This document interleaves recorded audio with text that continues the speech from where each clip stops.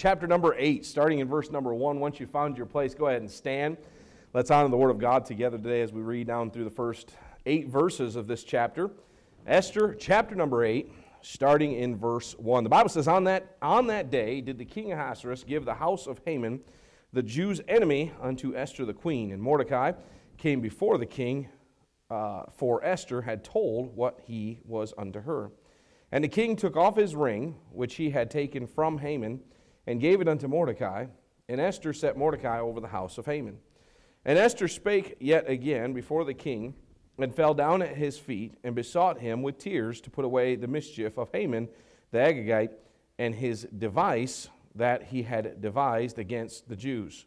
Then the king held out the golden scepter toward Esther. So Esther arose and stood before the king, and said, If it please the king, and if I have found favor in his sight, and the thing seem right before the king, and I be pleasing in his eyes, let it be written to reverse the letters devised by Haman, the son of Hammedatha the Agagite, which he wrote to destroy the Jews which are in all the king's provinces. For how can I endure to see the evil that shall come unto my people, or how can I endure to see the destruction of my kindred? Then the king Ahasuerus said unto Esther the queen, and to Mordecai the Jew, Behold, I have given Esther the house of Haman, and him they have hanged upon the gallows, because he laid his hand upon the Jews. Write ye also for the Jews, as it liketh you, in the king's name, and seal it with the king's ring. For the writing which is written in the king's name and sealed with the king's ring may no man reverse. Amen. Let's pray. Our Heavenly Father, we do thank you for your goodness to us, and there's so much to unpack in this passage of Scripture. I, we, we haven't the time probably to do that all in one service, but we're going to attempt to draw as much blessing, as much application out of it as we possibly can to help us to get closer uh, to you. We do thank you for this story that we know is real life, that really happened.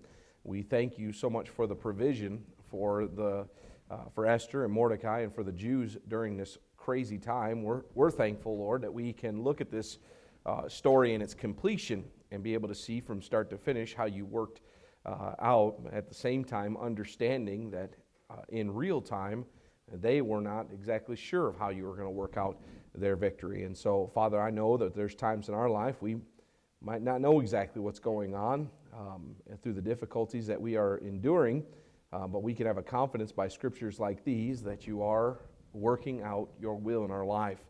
And so I pray, Father, you'd help us to see that tonight as we look through this portion of Scripture, as we see the winning side, as we see uh, the, the victory, um, and, uh, and how you're working in the lives of, uh, of your people in this, in this day.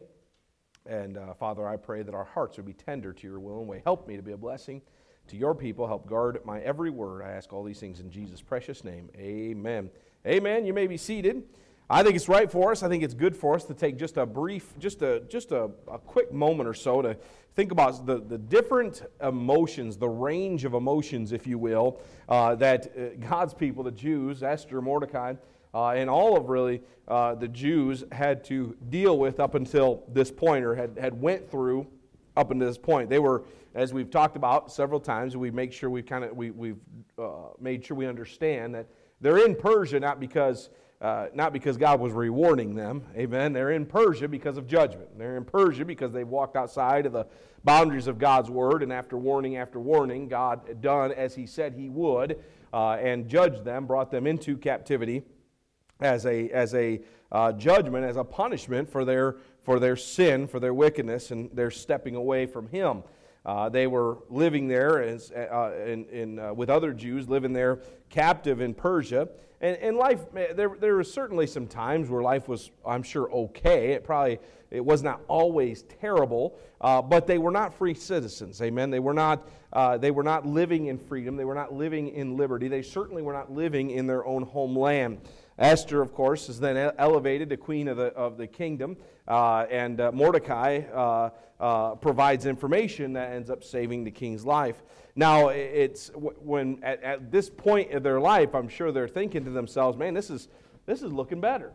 I mean, we have we have uh, uh, one of our own in the in the king's house, and but that, of course, that sense of excitement uh, that feeling of victory uh, was not lived for very long because they had an enemy. Haman, of course, is promoted to second in command there, and he convinces the king to write that decree calling for the complete extermination of the Jews within that kingdom. Uh, and in that uh, uh, desperation, amen, in that, in that um, the, the, the concern and by the encouragement of Esther, they resolved to fast and pray uh, before Esther has decided, as she has decided to uh, intercede before the king. She's granted that meeting with the king, and Haman, uh, and Haman is there as well, and, and uh, that uh, was to discuss the, what, what that decree was about and what all that meant. And that night, of course, we, as uh, previous studies, we, we looked at that night uh, after that first initial banquet. That night, Esther, uh, Ahasuerus was unable to sleep, and he calls for those books of the Chronicles to be read. And, and in that time, it was revealed to him that Mordecai had not been rewarded for his good deed, and which, which led to the saving of the king's life. And so Haman, uh, uh, after his, uh, we know the story of Haman uh, um, uh, telling King Ahasuerus how he ought to honor the one who he chooses to honor, thinking that it was going to be him that, the, that King Ahasuerus was talking about, uh, was instructed, of course, to honor Mordecai with all those things that he had listed off before all the residents there in Shushan knowing, of course, now Haman at this point, he's got, some, he's got an idea uh, that his plans are now working against him, that things aren't going exactly his way. way. In fact, his, his uh, family, his wife, and friends prophesy that things are going in the wrong direction for him. Uh, Haman, of course, pleads his case uh, in that unusual way uh, before Esther after that meeting where, where, his, where his wickedness is brought to the forefront. And of course, as Ahasuerus is angered by the forwardness of, of Haman, he calls for Haman to be hanged there. And, it just so happens that he ends up being hanged upon the, the gallows that he had prepared for Mordecai. And that's where we pick up in our text uh, this evening. This certainly, uh, things certainly have changed. Amen. A, a, roller coaster ride of emotions, if you will, over these uh, several chapters. And, and in the, we, we need to understand through this whole story, these are real life people that had really had a decree brought against them to uh, exterminate them. And uh, they think, talk about, Mr. Reed, talk about anxiety, amen. Uh, knowing that you're going to be murdered, be killed on a certain day, uh, that would definitely cause some, some fear and some concern. And, and, uh, and yet now things are changing, amen. They've changed in a very short amount of time, but Esther and Mordecai know the Jews still, according to the decree, remain in a perilous situation, amen uh, that decree, it could not be altered. Amen. And that deadline is now only nine months away. It's still, it's still taking course. The decree had been wrote, it still uh, had to be cared for, and God uh, had been faithful up until this point. And uh, of course, we'll see as we continue in Scripture that He will continue to work out His good for His people. And so, by the grace of God this evening, uh, let's consider the phases of this, of this uh, difficult yet, yet good day, hopeful day uh, as I preach on this, on this thought, this gracious new day. This gracious new day. The first thing we see in verses 1 and 2, we see, we see there was a day of promotion. Amen. So after the, the demise of Haman, uh, the enemy of the Jews, things were, were quickly changing for the favor of, of Esther and, and, and Mordecai. Amen. And notice that, uh, that presentation or that first part of verse number 1. The Bible says, On that day, did the king Ahasuerus give the house of Haman, the Jews' enemy, unto Esther the queen. So it was a custom, uh, customary thing in Persia there for the property and the, uh, and the assets of that condemned criminals to become the property of the king following their execution. And so Ahasuerus took that as, as that had become his now in his, uh, in his execution. Uh, he had gave all of Haman's assets uh, to Esther the queen. Uh, and, and, and we could take, we can go back to a previous passage of scripture where we saw Haman was willing to offer up that 10,000 10, talents of silver to uh, accomplish his evil plans, and we can come to a conclusion that he was not a poor man.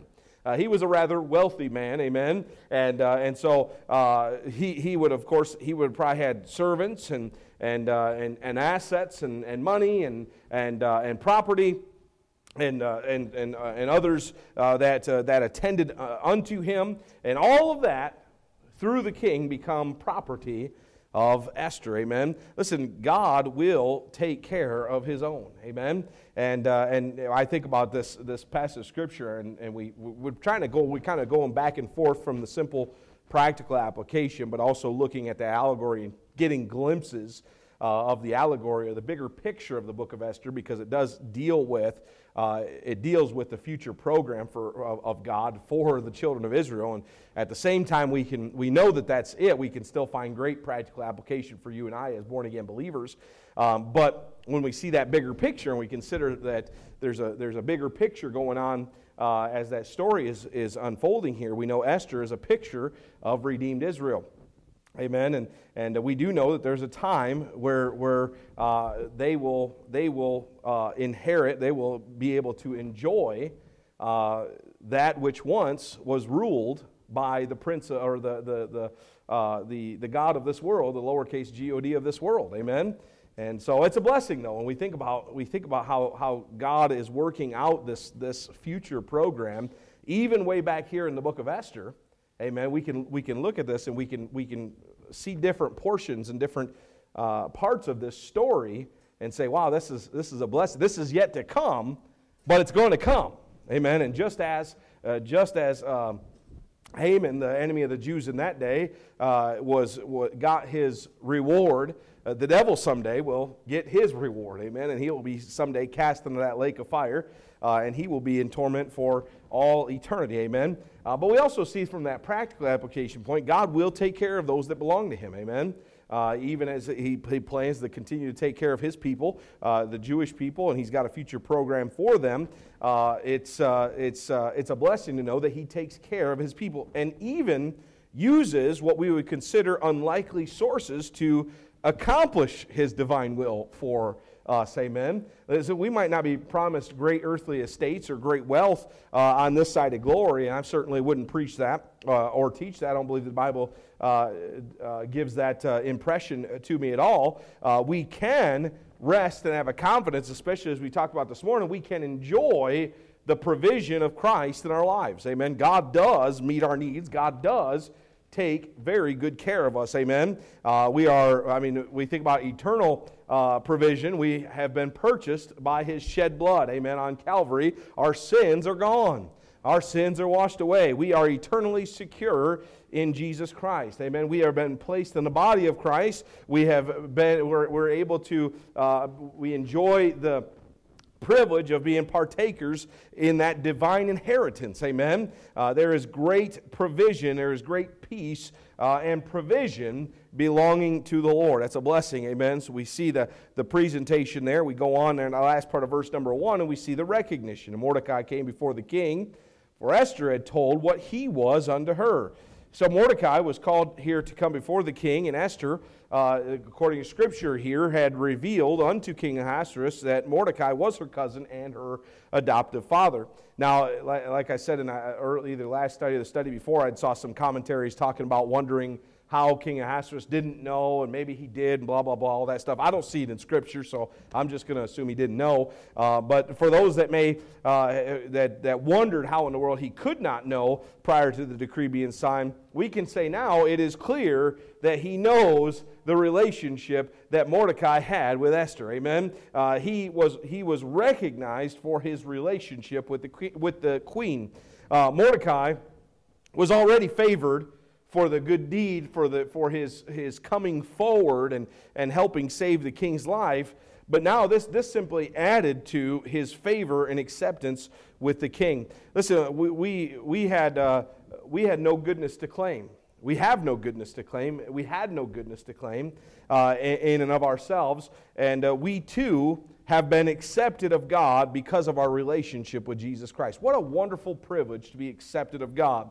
I think about my wickedness and I realize that I don't deserve anything good, and I have so much in Christ. Uh, amen. I don't, I mean, because of my wickedness, I don't deserve another meal, but I have eternity with Him. Amen. I, I don't, I don't deserve another breath, and yet I can bring my needs to God in prayer through my Savior Jesus Christ, and I can, I can have a confidence. I, I, don't just have the privilege to bring my needs to Him, I can have a confidence that He already knows what those needs are, and He wants to hear them, and He will meet those needs. Amen? It's pretty exciting. And we could go on and on, and that just one point, we could park there for a good long time. God has been good to us. Amen? I'm thankful I'm accepted of the Father through my relationship with the Son, Jesus Christ. We see not only that recognition, but we go on in verse 2 and we see the elevation. And the king took off his ring, which he had taken from Haman, and gave it unto Mordecai. And Esther set Mordecai over the house of Haman. So through his faithfulness and through uh, the divine favor of God, Mordecai had the opportunity to be elevated to this position of authority and prominence in the land.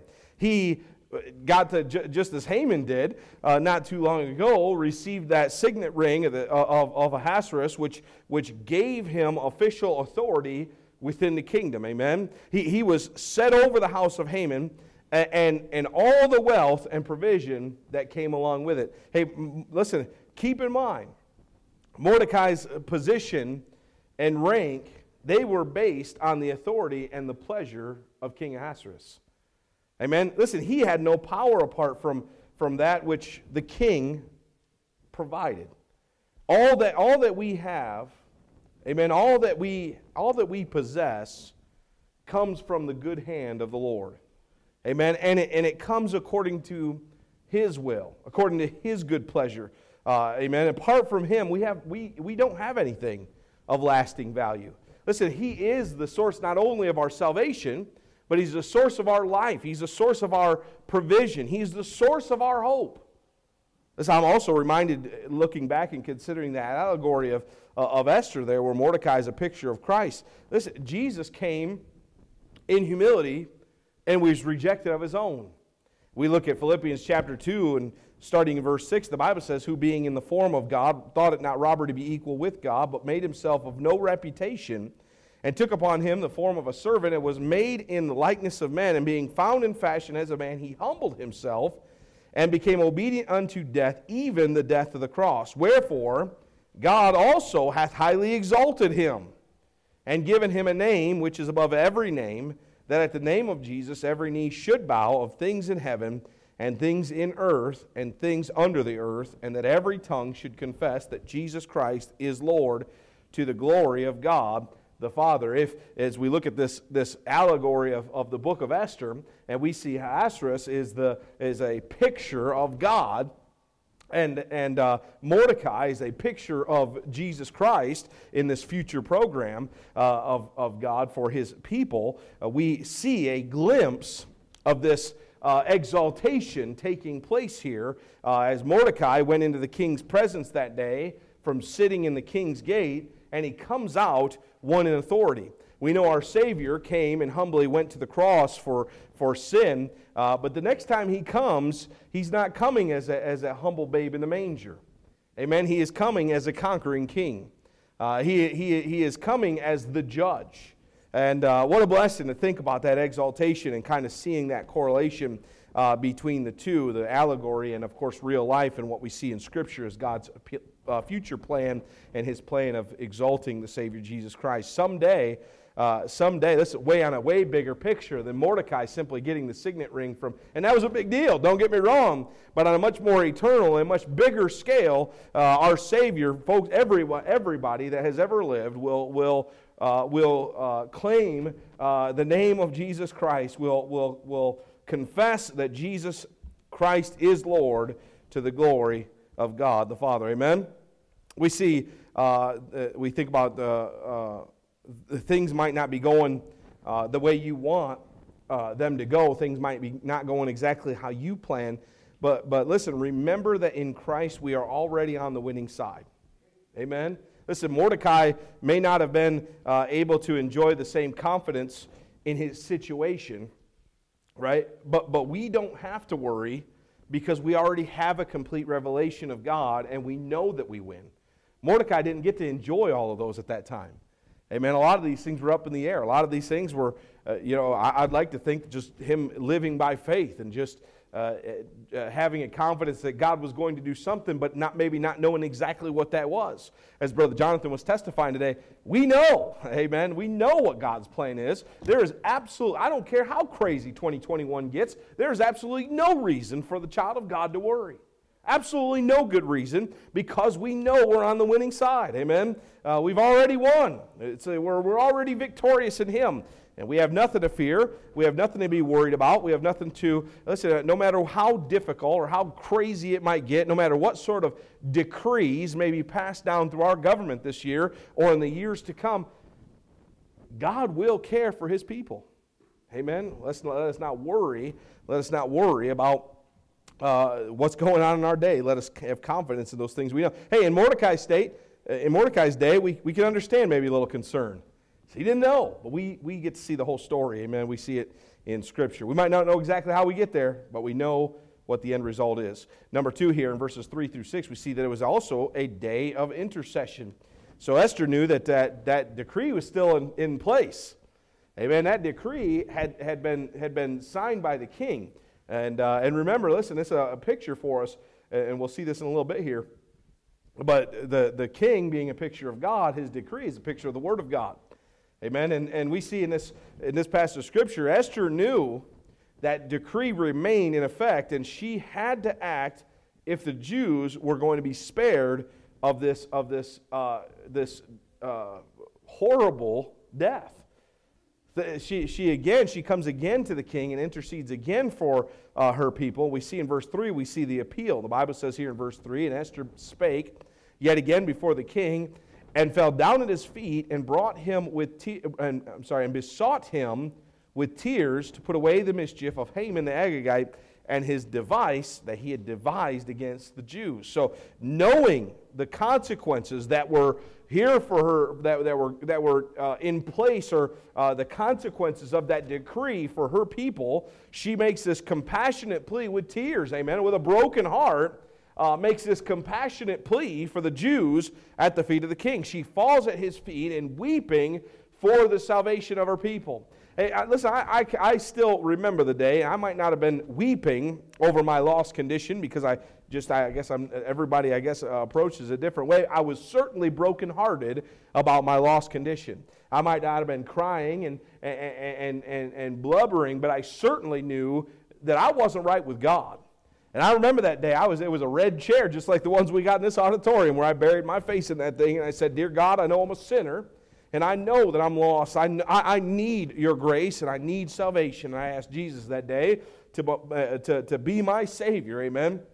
I, re, I remember calling out to Him uh, for salvation. And uh, listen, apart from his, from His grace, Amen. I, I knew death was certain for me. I, it was it was the Holy Spirit of God convicted me uh, of my lost condition that day, amen. And uh, like Esther, we need to, we need to share the burden uh, of those who are still apart from Christ as Savior. Amen. I think it'd be a good thing if God's people got brokenhearted over the, over the need of the lost.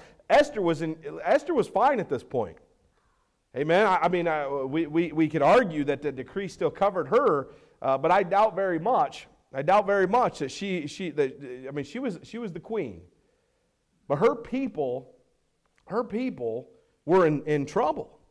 Amen. They were, they, this decree was still upon them. They, they were in, in, in great uh, need uh, of, of an intercessor, and she was praying uh, for, for them, or she was, she was interceding uh, to the king for them. It'd be a blessing if God's people got a burden in their heart for the lost. Amen. If we get a burden in our heart for those that are yet to trust Jesus Christ as Savior, amen, get out there and get the gospel message, but also uh, in that brokenness, bring uh, the, the, the lost to the Lord in prayer. Amen. I think it'd be important. We see the assurance that was given in verse number four. We see her appeal in verse 3. We see the assurance in verse number 4. The Bible says, Then the king held out the golden scepter toward Esther. Amen. So Esther arose, the Bible says, and stood before the king. Esther had gained uh, the favor of, of Ahasuerus. And, and uh, before, uh, he, we, see, we saw that once before, he had extended that, that uh, golden scepter. Amen. And once again, uh, he extends this golden scepter uh, to Esther. And, and, and, and thank the Lord, we saw that uh, before he extended that, that golden scepter and, and offering assurance of his willingness to grant her request. And, and now he has done that again. Amen. Uh, given that permission for Esther to, to speak. And so she rose and she stood before the king. Uh, listen, we, we've, we've talked about this before, and yet I remain thankful for the assurance that we enjoy in Jesus Christ. Amen. What a bold, what an opportunity, what a blessing to know that we, we can have a confidence when we approach the throne of grace at any time for any need, knowing that in Christ that scepter is extended to us. Amen. Knowing that we have opportunity and privilege to bring our needs to Him, knowing that the Lord will hear and respond to our plea. Now, that, that response might be no sometimes because it's for our good and for His glory. Amen but we can have a confidence that he will respond. We see not only that, that assurance there in verse number four, but as we move on to verse five, we also see the analysis here. The Bible says in verse five, and said, If it please the king, and if I have found favor in his sight, and the things seem right before the king, and, and, and I be pleasing in his eyes, let it be written to reverse the letters devised by Haman, the son of Hammedatha, the Agagite, which he wrote to destroy the Jews which are in all the king's provinces. This was the request that, that, that Esther desired to make at the meeting with the king uh, and Haman. So, so calling uh, upon his compassion for her and, and, and the favor that she had received, Esther's requesting that this decree to destroy the Jews would be reversed. She, she, she begged Amen. She, she pled uh, for the king, uh, for the, pled to the king for the lives of her people. Amen. Listen, the, the king may have, have been, may, may not have known about Esther's lineage up until this point, but now he is fully aware of who she is, to whom she belongs, and the desperation that she and her people are now in. She's talked about, she's told him the details of her life and she's offered uh, her request. Listen, our Lord is not limited in wisdom or knowledge. Amen. Ahasuerus, he was limited. He only knew so much, and, and he's certainly a picture of, of God, but only a picture, but not, not God. Amen. Our Lord is not limited in wisdom or knowledge. He knows us better than we know ourselves. Amen. And yet he desires to make our request known unto him. He already knows the difficulties that we're going through. He already knows the needs that we have, and yet he wants us to bring those needs to him. Ahasuerus did not know what Esther was going to bring to him. He did not know ahead of time what the, the need was, what the request was going to be. He granted and gave her the opportunity to bring that request to him, but he didn't know aforetime what that was. God already knows what we're going to ask before we ask it, and yet he still wants us to bring those needs to him. Amen? He wants us to bring our needs before Him in prayer. We see that the, in verse number six, we go on to see the anguish here.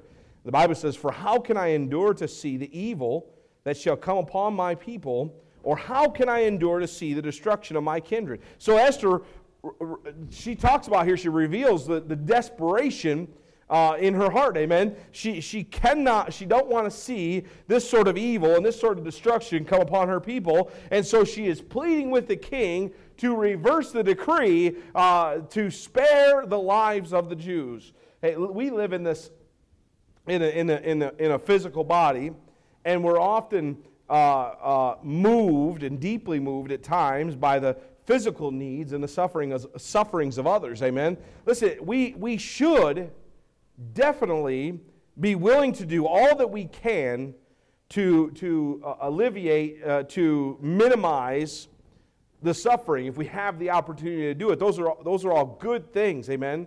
However, as I read this verse, I was, I was convicted. Esther offered a passionate plea to save her people from destruction. Amen. Listen, we all, we all know those who are unsaved. We all have folks in our, in, in, uh, amongst our loved ones, our friends and our loved ones, who are yet to have trusted Christ as Savior. And in that, in that uh, rejection of Christ, in that lack of knowing Christ as Savior, they will spend a Christless eternity apart uh, from salvation in that place called hell. we are easily moved by physical needs. And, and, and when we see a physical need, and, and, listen, it's, it's okay to be moved by those physical needs, but we're easily moved by those physical needs, but oftentimes, oftentimes we're simply not bothered by the great spiritual needs of our day. And can I tell you, the spiritual needs are greater than the physical needs.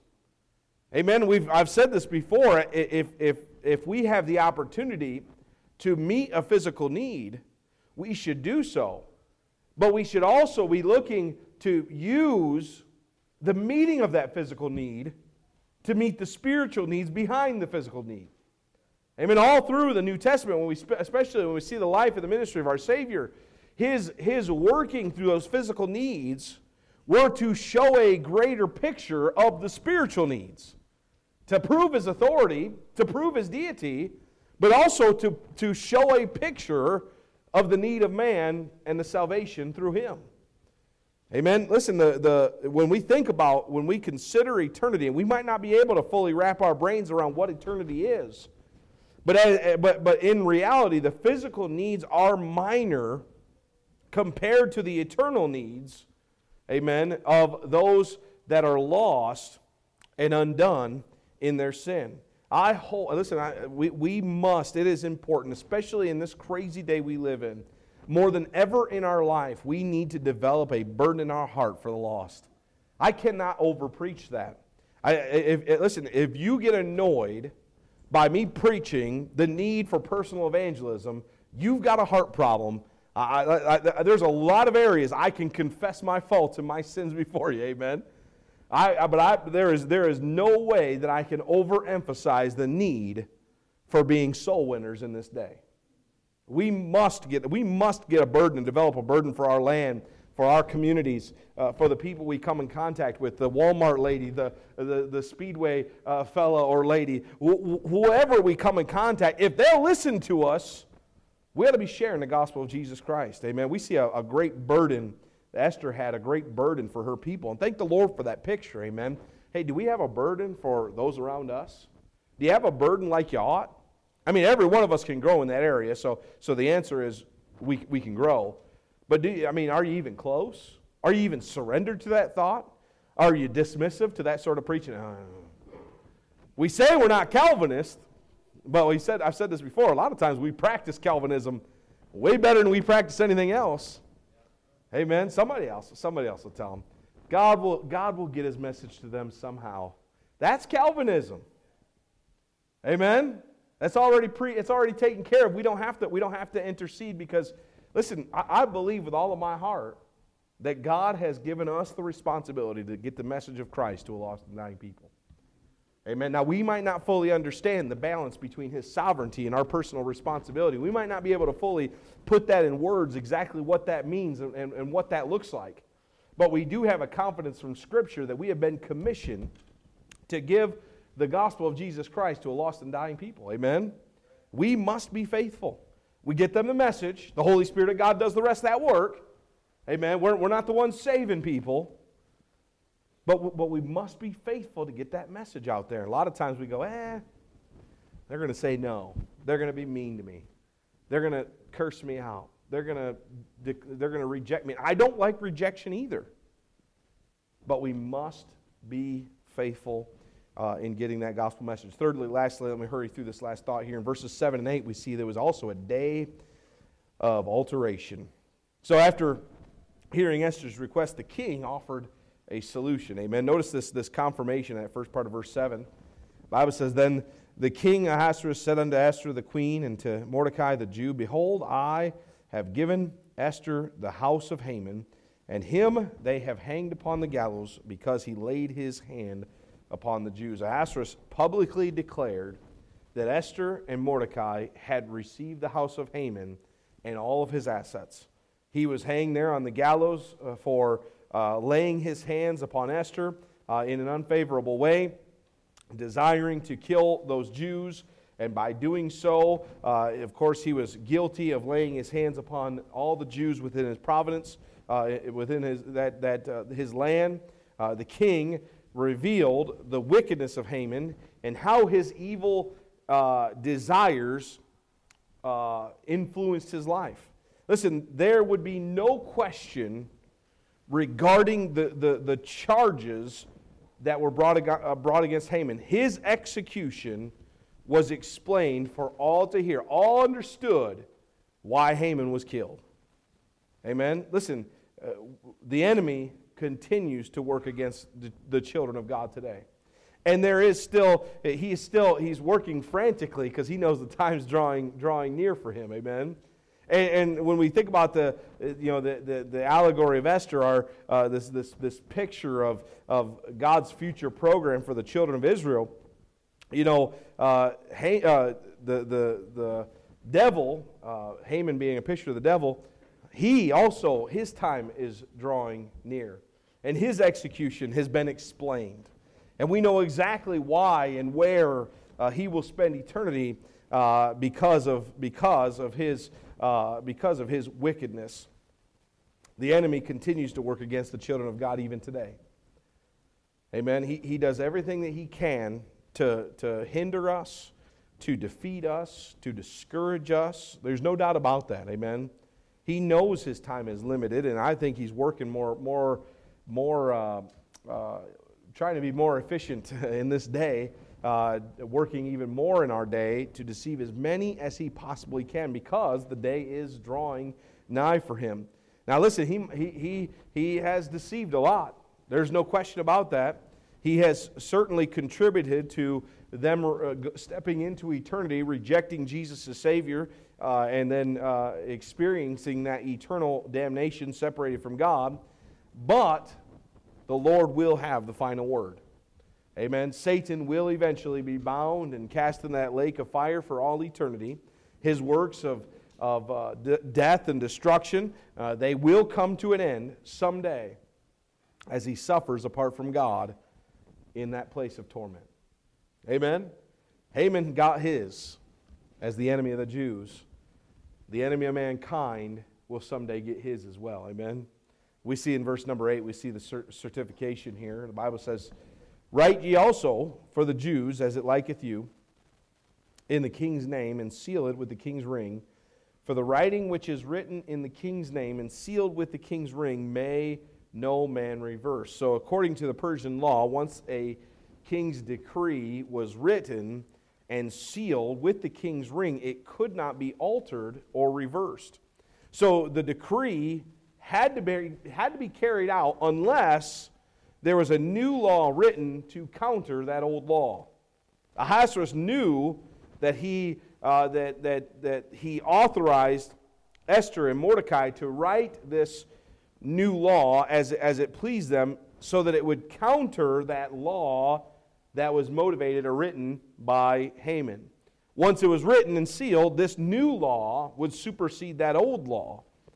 Esther's request was fully granted, and she was able to now uh, have that authority to write a new decree that would spare the Jews within the kingdom. Now, listen, remember the king is a, the king Ahasuerus a picture of God. Remember, his decree is a picture of God's word. When God says it, that settles it. Amen. This, I, I think of the old law that condemned and the new law that by grace redeems. I thought that I, I think about that the, the old law that was given through Moses, it, it proved man's inability to meet God's expectations. Listen, there's still some out there that are trying to live by the law or some form of it. It's not even, it's not even fully the same as because they're not even doing the sacrifices like they used to do. And so they're not even, if they say they, they're living by the law, they've, they, have they have done away with and they've explained away those, those actual, those physical sacrifices, those days of atonement and the sacrifice that took place on those days of atonement. So that old law given, that was given through Moses simply proved that man can't meet God's expectation of per- perfect righteousness. Could you imagine? Could you imagine as a studier, as, as one that genuinely had a burden in their heart to try to obey the law in its entirety? Have you read the Old Testament? I mean, how tough would that be? And, and to, to me, when I go through that as a, as a New Testament Christian, it, it very clearly and very plainly brings attention to me. I'm thankful for His grace because there's absolutely no way that I could fill this, fulfill this in its entirety. The new law of grace, given through Jesus' payment on the cross, proves God's love for sinful man and his desire to redeem us from our sinful condition. That old law was not rewritten, it was fulfilled in Jesus Christ. He was the, he was the only one who could live up to God's expectation of perfect sinlessness. Our Savior fulfilled that law that we could not, and then died in our place as that sacrifice for our sin. The saved by grace enjoy comfort in, in the sovereign authority of our Lord and Savior, Jesus Christ. Amen. His word is eternal and sure. It, it, it will never be challenged, it will never be changed. Amen. There, there's, there's folks out there that'll choose to deny it. There's folks out there that'll attempt to rewrite it. Amen. There's a lot of folks out there that will reject it, but His word will stand. We have no fear of anyone or anything altering the precious promises and provisions that we enjoy in Jesus Christ. If you are saved by grace, if you have by faith received Jesus to be your personal Savior, you are secure in the Lord.